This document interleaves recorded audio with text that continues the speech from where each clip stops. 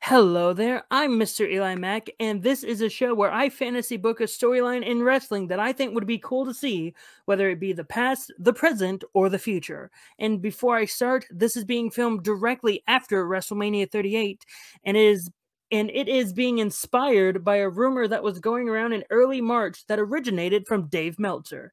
If a new world title isn't introduced, don't get mad at me, please. I'm just creating a story that I think would be cool. And before I start, please give this video a like. It really helps get this video out so more people are able to watch it. And maybe it may get Adam Blampied to watch it as well, so I can possibly appear on Fantasy Booking Warfare. That's my nephew knocking on the door with a toy. Now, let's get into the booking. Now, as we all saw, Roman Reigns defeated Brock Lesnar, unifying the WWE Championship and the WWE Universal Championship. However, according to Davey Boy Meltzer, a new world title is going to be introduced on Raw, a la Raw 2002, when Eric Bischoff debuted the World Heavyweight Championship and gave it to Triple H. Now, I have no plans on doing something like that exactly, but I do have an idea on who to crown as the new Raw World Champion. To start, we are at the Raw After Mania. After a big big spectacular event that is the Raw After Mania, Adam Pearce comes out and starts talking to the crowd because he is the on screen authority figure. I could have had Vince do it, but after everything that he did with Pat McAfee in that botched stunner sell, I prefer to have Adam Pearce do the talking on camera. He congratulates Roman Reigns for defending his title and for unifying the titles as well. He then mentions how he had a conversation with Roman at WrestleMania after the match and says that Roman has refused to appear on both Raw and SmackDown. Adam Pearce later states that Roman is proclaiming himself as the tribal chief of the WWE and only wants to carry his title on the brand that has the most eyes. And since SmackDown is on Fox, Roman chose SmackDown. Look, I know that's probably a very flimsy excuse on why we want to put Roman on SmackDown exclusively, but it was the only one I could think of, and we needed some reason to only have him on SmackDown. And because of this, Adam Pearce has spoken with Mr. McMahon after he regained consciousness from that very botched Stone Cold Stunner sell job. And a new world title will be debuting on Raw. And to, determine, to determine who will be fighting for the title, Adam Pearce announces that there will be an eight man tournament. The final two competitors will face off against each other at WrestleMania Backlash for the title.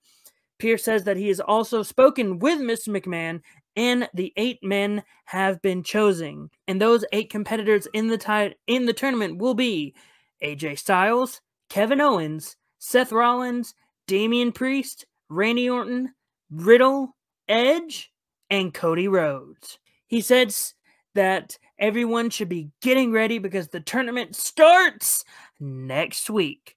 And that's how we end the Raw after Mania. And now we're at the next Raw event, and we are beginning this tournament. The first match on the card of Raw is Kevin Owens versus AJ Styles. Now, of course, these two can have a great match, and that's what they do. They have a great match. But Edge and Damian Priest, because they teamed up together and now probably starting a new brood faction, who knows? Edge and Damian Priest come out and cost AJ the match, allowing Kevin Owens to advance into the semifinals of the tournament. And now the next match on the card and the next match in the tournament is Randy Orton versus Seth Rollins. This is a very close match, but a lot of interference from other tag teams like Alpha Academy and Street Profits and all that craziness allows Seth Rollins to pick up the victory. Seth Rollins is advancing into the tournament. Now, throughout the Raw event, we have backstage segments and other matches are happening, but we're only focused on the tournament at hand. And the next match in the tournament is Riddle versus Edge. Now, to me, this is a bit of a dream match because I don't think we've had this one on one before. I, I may have been mistaken because I don't watch Raw on a regular basis because who wants to watch a three hour show on a regular basis? Anyway, moving on. Though Edge seems like he's having the upper hand. AJ Styles is able to come out and get revenge, costing Edge the match, with Riddle advancing to face Seth Rollins in the semifinals.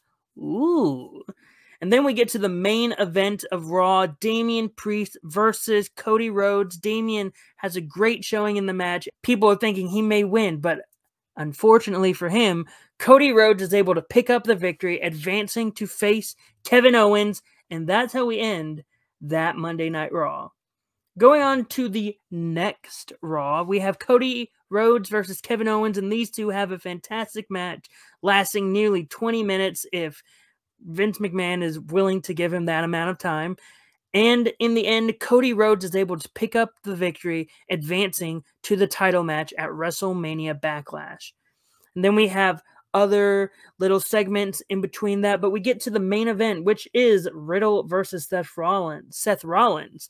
The two have a 20 minute match as well, but unfortunately for Riddle, Seth Rollins picks up the victory and it is going to be a rematch from WrestleMania Night 1 Cody Rhodes versus Seth Rollins for the Raw World Heavyweight Championship.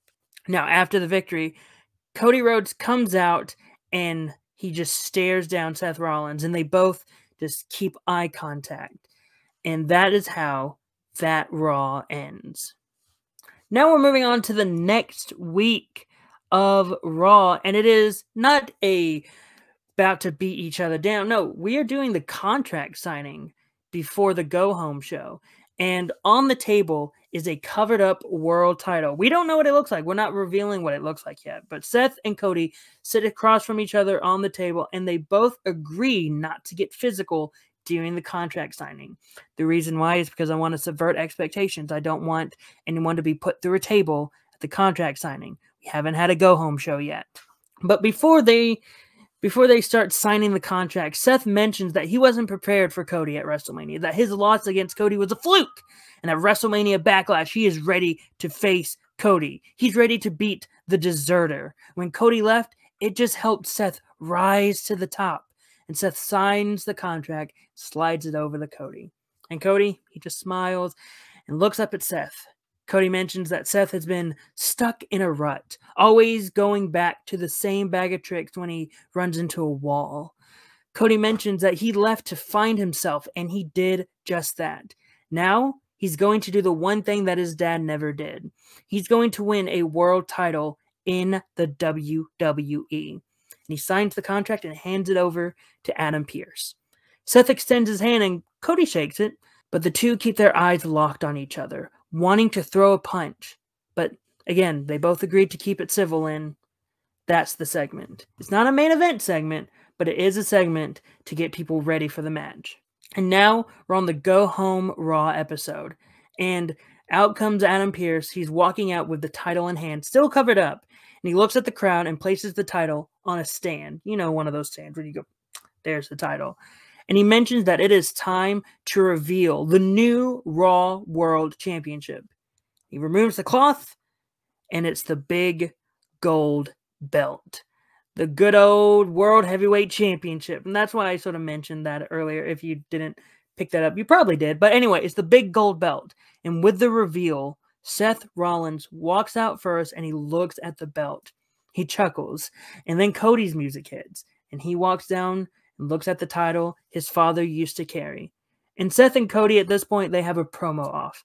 Seth mentions that Cody can never reach the heights that his father did.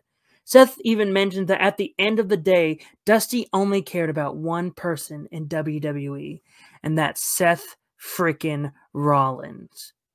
But Cody, when he hears this, he doesn't take it as an offense. In fact, Cody chuckles and tells Seth that he's a joke Seth is just the shell of a man that was worthy of a championship. Now he's just a man that hides behind expensive ring gear. He's all talk and no substance. Cody mentions that he's going to do to Seth at Backlash the exact same thing that he did at WrestleMania. Seth chuckles and goes to attack Cody, but Cody's able to block the punch and starts attacking. However, Seth is able to reverse the situation and gets the upper hand and beats down Cody with Seth standing tall. Now, it's time for WrestleMania Backlash. Now, this match isn't the main event because neither of these guys is named Roman Reigns. So, Roman Reigns is obviously going to defend his championship and it's going to be the main event of the match. But this is going to be somewhere in the middle of the card because you want to be able to get people hyped up in the middle of the card. And these two have a fantastic match with many near falls. It's like, oh, one, two, three. Oh, no. One, two, three. No. Oh, my goodness. Curb stomp. One, two. No, only two. My God. This is amazing. But then ultimately, in the end, Cody Rhodes is able to hit the crossroads and get the one, two, three.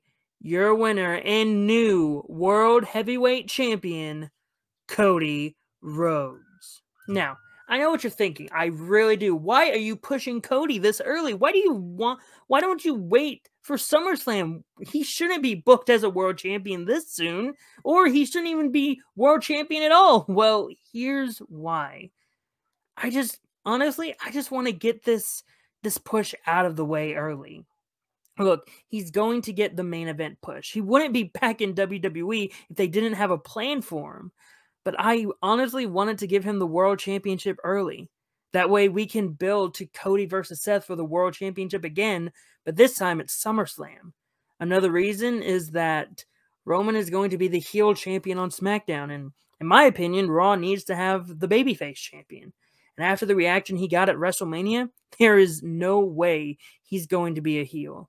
Position him as the top babyface in Raw and treat him on the level, or maybe a few steps below, treat him on the same level as Roman Reigns. But yeah, that's just that's just my idea. You build up Cody early on, you give him the title early on, and then at SummerSlam have Seth take the belt off of Cody because honestly, you give the belt to Cody early, then you don't have to worry about having to worry about pushing him to get the title to SummerSlam. No, he has the belt. He is the babyface champion all the way to SummerSlam, and then you can have Seth take the belt off of him in the stadium, in Nissan Stadium. Because, in my opinion, I think nothing against Cody. Seth is a bigger name, and you want the bigger name to carry the belt or to win the belt in the big stadium event. But that's just my fantasy booking of crowning the new Raw World Champion. What are your thoughts on the idea? Do you like Cody being the first champion? Would you prefer someone else? Whatever your thoughts, post them in the comments down below, please. And don't forget to hit the like button. Get this video out there for people to see, like Adam Blampied. I want Adam Blampied to watch this video. I want Wrestle Talk to watch this video. I want to be on Fantasy Booking Warfare someday because I think I can compete but that is just my opinion. Again, thank you so much for watching, and I hope to see you for the next one. Till then, hope you all have a great rest of the day. And that's my cat.